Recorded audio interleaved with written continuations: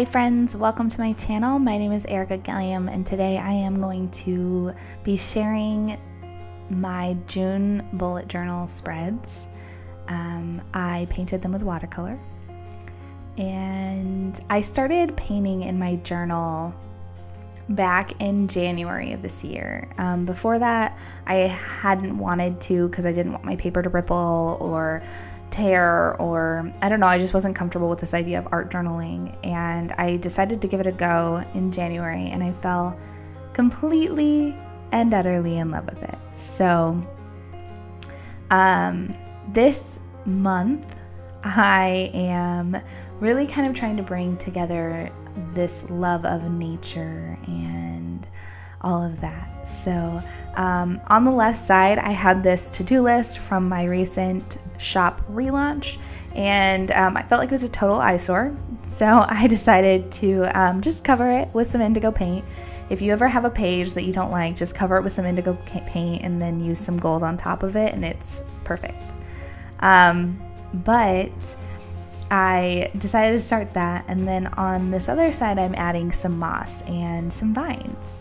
So I wanted to create something that was kind of simple, um, but still really detailed.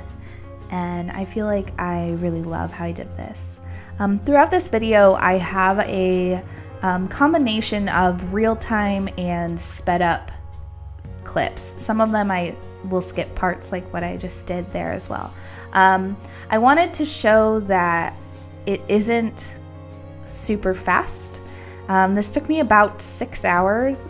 Well, I have six hours of footage. It probably took me about eight and a half hours because there was some stuff I didn't film. But um, as a whole, the entire process takes a long time, and I think it's hard sometimes when you see these sped up videos to feel like, I don't know, not be prepared for how long this takes. So, this took me about eight hours, um, and I have a mix of that real time and that sped up. So, um, so I'm adding the second layer of the indigo over here on this other page. One of the things about covering up a page like this that has writing is it does require a lot of layers um, and thick ones. So lots of drying. Uh, that's okay though. It was really fun. And um, so I'm kind of laying out where I want the moss to go. I want to continue that moss so that the whole thing kind of feels cohesive. Um, so I'm laying out where I want the moss to be, um, and then I will go back in and add that. Um, painting moss like this is really, really simple. Um, it's just olive green, indigo, and gold. Um, sometimes you can add some other colors in there if you feel like it, but um, for this, it was just really simple.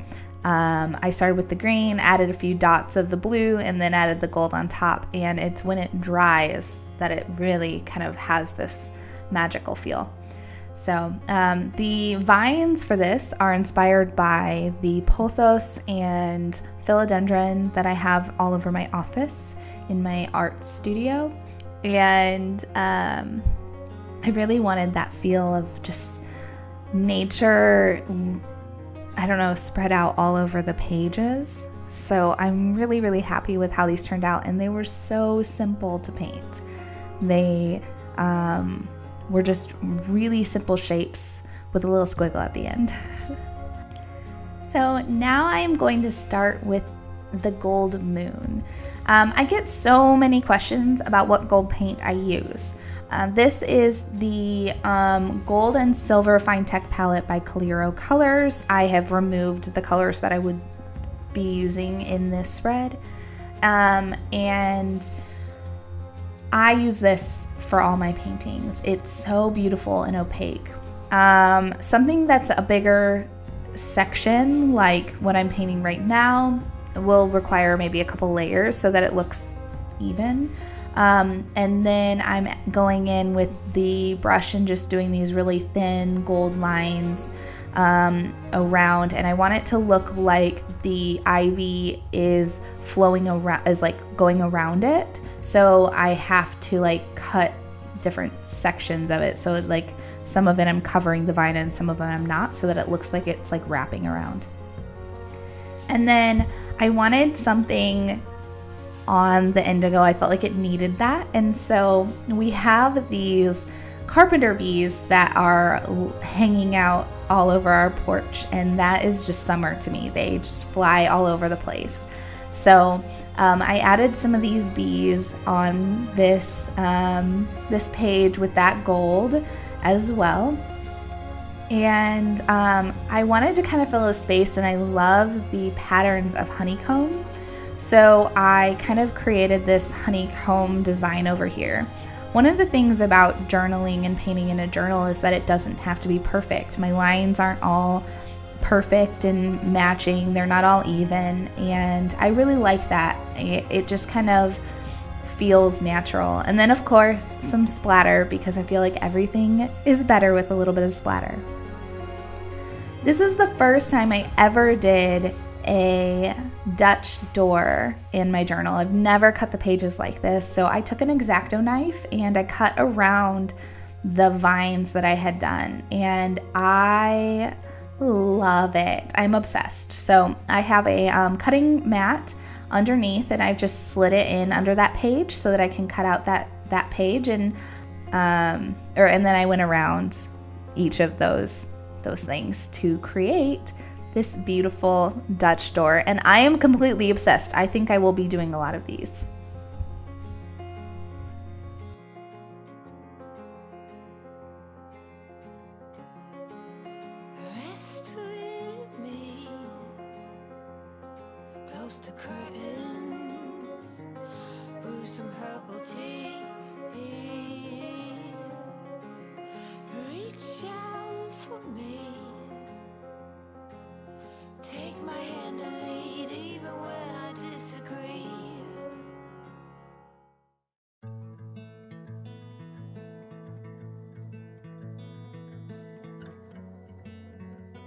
On the next page, I really wanted it to be a continuation of this first one. I wanted it to feel like the two pages were almost flowing together. So I took those same vines and I continued them on this section that the Dutch door would cover. And um, I this was a very simple page. I wanted to be able to have a place to put some goals for the month as well as my gratitude. So I'm very, very happy with how this one turned out. Um, making these little vines is so much fun. I love just, I don't know, it's really satisfying as you kind of go up there. And I tried to do them in lots of different directions and um, not overthink it too much. And then I just did another one just down the middle of the page so it could bring the two pages together. Um, but again, I was trying to keep it really, really simple. So I wasn't trying to um, go too crazy on this page considering how many detailed paintings I did in this spread. So this journal is the Leuchtturm 1917 and I'm really glad that the paper allows me to use paint on it. It um, does ripple a bit, um, but that just I don't know, that makes me really happy. I love hearing the crinkle of the pages. So, um, after I finished all the vines, I took my Sleepy Flowers sticker pack that I have in my shop and I wanted to just add a little bit of this botanical detail without having to do too much. So I added that sticker in there and then I took a um, long skinny paintbrush and I started lettering, adding all the lettering to this page. So first I'm going to put the dates on here and I wanted to just put the entire month so I could see the dates of the month throughout it. And all of this was hand done. So it does take time. I made sure to do some of that in real time just so you can see that it's not a fast process when you are um, hand lettering with a brush like that, it, it isn't quick. Um, but I do really love the effect of that. So um, typically in my journals, when I'm painting, I will do my lettering by hand. Anytime, unless I have a pen that I'm specifically using, it will be done with a brush.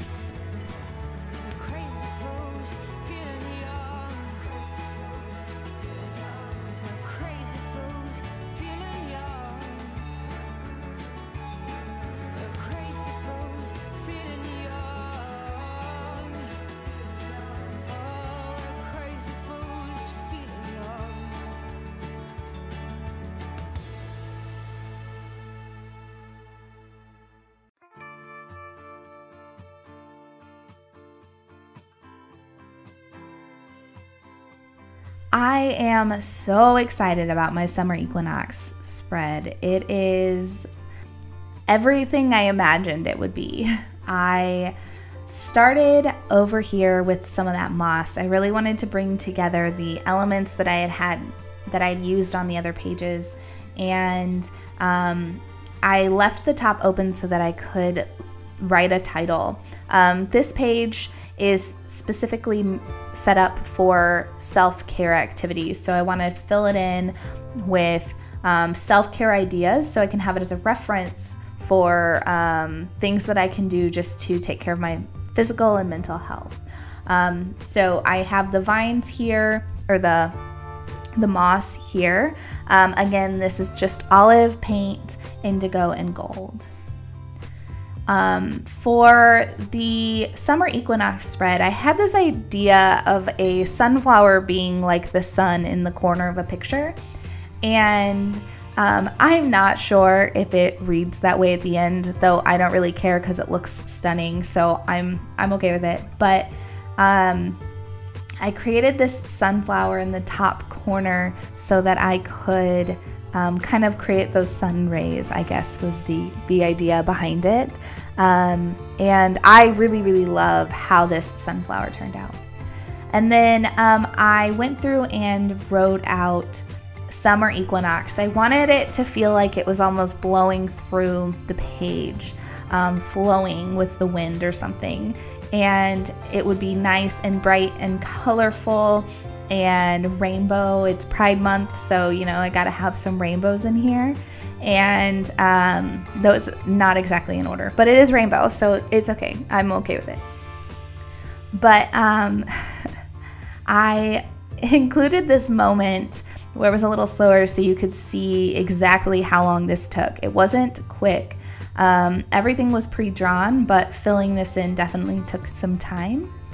And um, really what I was trying to do is I would go through and do a quick wash of the color and then I would go in with a little bit more pigment and fill it in so that at the end it ends up a little bit splotchy. I really love when um, watercolor has those harsh edges in the midst of something like this when it's just a wash. So I really like the textures that that created and it's interesting to me watching this back to um, remember what I was doing. There's these connections that your brain puts with what you're doing at the time. So I have been re-watching Game of Thrones and um, so I can actually remember exactly where I was at in season three um, while I was painting this, and it's almost like it's playing in my mind. And I just, I love those connections. That's really fun for me whenever I watch something or listen to a book or something like that. While I'm painting, I create these these memories connected to it.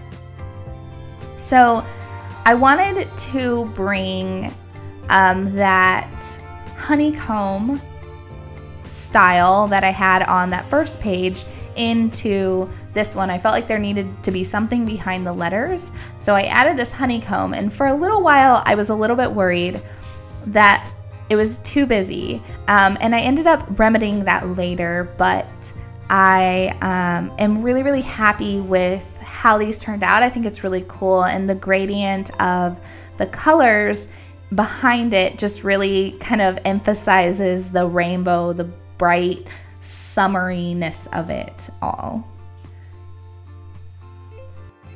This part took a very long time painting each of those um, little honeycombs. That was very time consuming, um, but totally worth it. So um, I've gone up here and I'm adding more details to the sunflower, starting to build up those colors. And Um, this is where I'm really glad that the paper doesn't fall apart because I did a lot of layers, um, especially on that sunflower of paint over and over again. Now I'm gonna add the um, lettering and it just says Litha June 24th. Um, this is Midsummer Celebration and um, I wanted to do this page just dedicated to a little bit about Litha and a little bit about what to do during this time. So that's really kind of what I will use this for. Next, I just really started to build up those layers. I wanted to kind of create some outlines, and this is where the magic starts to come through. Sometimes when I'm working on pieces, I will feel really unsure of them until I put in those final details, and then all of a sudden it's like, oh, yeah, no, I love this. So, for this, it was really incredible to see the power of the shadows. So, adding just these little bits of additional brown here really helps it feel alive. It helps it feel like it's more real and not just um, this flat flower there. Um, and then I went through with that brown and I added an outline to all of the letters for summer equinox, and that made a huge difference um, I felt like you kind of lost the letters before I did that, and um, they kind of blended into the background too much. So, just this little touch of adding a little bit of brown along each of the letters really helped them stand out and kind of gave it a little bit more life, which I just, I'm really, really happy with. It's so interesting how I can watch these back and see my insecurities, and yet um, it's always the same answer like, just finish it. I just need to finish it. So here I'm adding some gold um, details and a little bit more um, details into that sunflower um, just to kind of make it pop even more than it already did.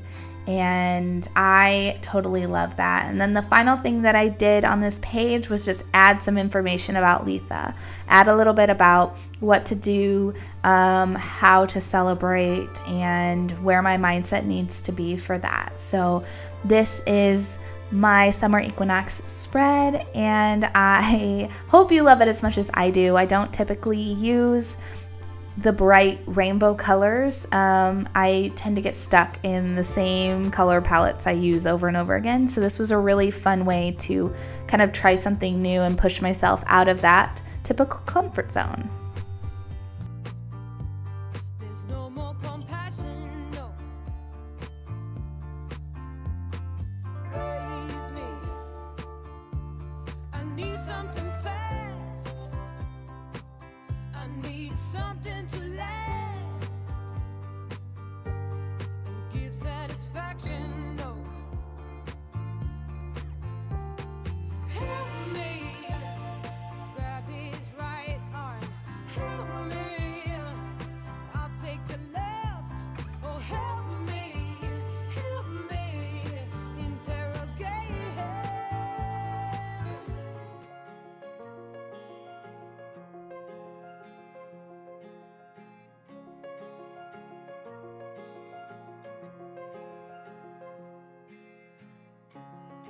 So we've made it to the final page of June's spread. And um, if you've noticed, I haven't done any habit trackers or anything like that. I really minimize the amount of planning I'm using it for um, as far as like big planning and just using it for everyday things as well as journaling as a whole. One thing that I really want to start doing in my bullet journal is adding journal entries and art about the things that are going on in my life and around the world. My goal is to be able to go back through my journal and be able to remember what was happening and also to remind myself and keep myself in check. I think um, it can be really easy to get complacent over time. You know, we can protest and um, be active and vocal for a period of time and then we kind of go about our lives and forget about the things that are going on and forget about other people. And so my goal with this was really um, to create something that keeps me accountable. So every time I'm going through my journal, I can be like, hey, am I doing enough? If I'm being honest, this was totally out of my comfort zone though. Um, I don't art journal often like this, and I also um, decided to do skin tones, but I didn't want to just do normal skin tones. I wanted them to be rainbow, galaxy ish skin tones. So, um, really kind of playing with lots of color, and that was just completely outside of my comfort zone. And that's one of the things that I love about journaling and art journaling specifically is it's a safe space to try something new and there's no pressure of this has to be a finished piece, this has to be done well even. Um, but it's uh, it's just a creative outlet and that's really what I wanted to use this for. As I kept working this, I honestly felt really insecure about the entire thing until the very end. I was really frustrated because I felt like I had something in my mind and it was not turning out exactly as I pictured it. And the reality is, it didn't. Um, it kind of took on a life of its own, and I think that that's something that I often forget in art is that my pieces tend to take on a life of their own and become what they were meant to be rather than just what I envisioned them ahead of time. So you can kind of see me really building up the layers on this hand and I'm just adding color and on top of color and on top of color and detail and it really took it a little while to kind of become something. I think this page alone probably took me about four hours. I kind of thought I would be able to do it in about an hour, hour and a half, and and I couldn't. Um, I just kind of kept working it and I was really scared that I had overworked it because it's very, very easy to do, but in the end, I'm very, very happy with how it turned out.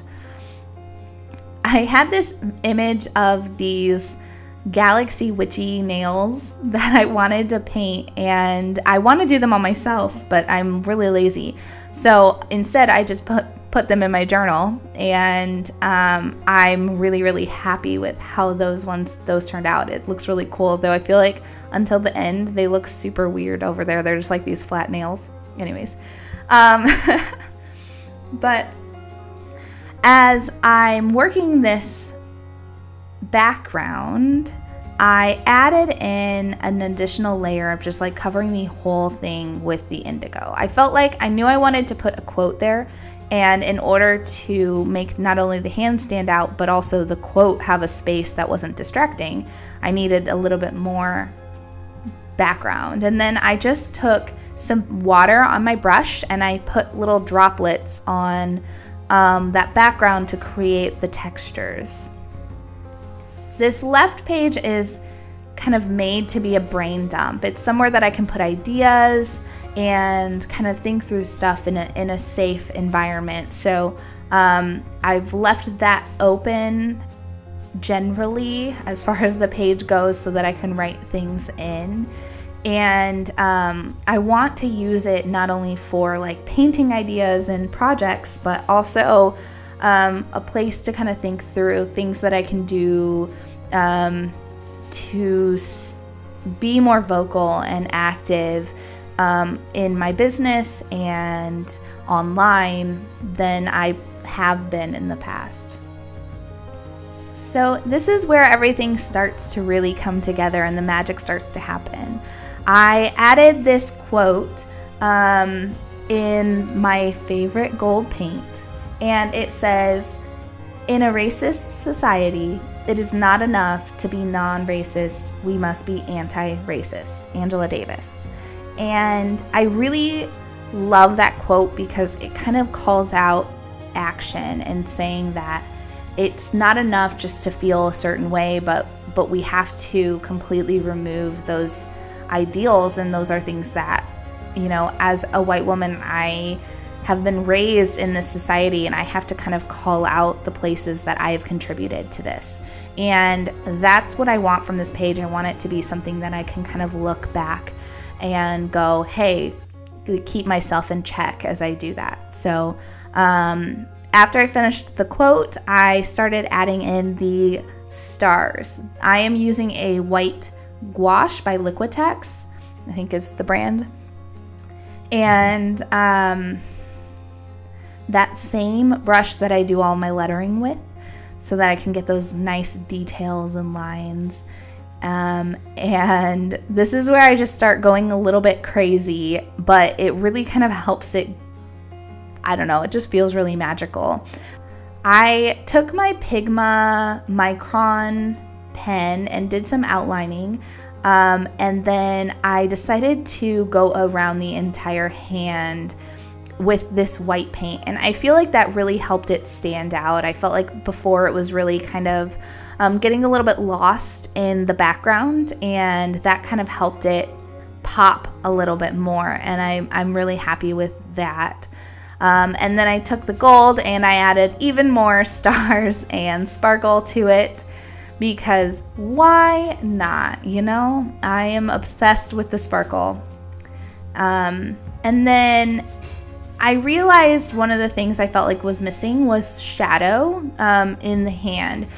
So I took some of that indigo and added some of those shadows just to really give it some life. And I feel like that was the thing it needed. Like at the very end, that just helped it. And then I remembered that I had some more Coliro colors just stuffed in a drawer somewhere. So I went and got those so I could add even more shine. So um, the one that I'm currently using is Walnut. I don't know the name of the other two. Um, I bought them so long ago, but I used the the brown tone on the hands and then the um, pink and blue in the sky. And I'll um, kind of move the paper here in a second so you can see how shiny it is. Some people might feel like this is too much, but for me, I love it. I just feel like it's so amazing and magical. And then I'm gonna pull out my Luna sticker set and I'm gonna get one of the full moon stickers. I was trying to figure out where I wanted it to go and I accidentally stuck it to the paper there. So that was its new home. And I just took some of that gold paint and added some details around it to kind of make it feel like it was a part of the entire thing and not just a sticker in the middle of the page. And this is my final quote page. I really, really love how this turned out, and I'm very excited to be able to start doing more of this journaling where I can remind myself of the things that are going on in the world and in my life, um, and just kind of have those memories. So, Thank you so much for joining me for this video. I know it was a long one, so for those of you who made it to the end, I appreciate it. And I can't wait to share another video with you soon. Bye!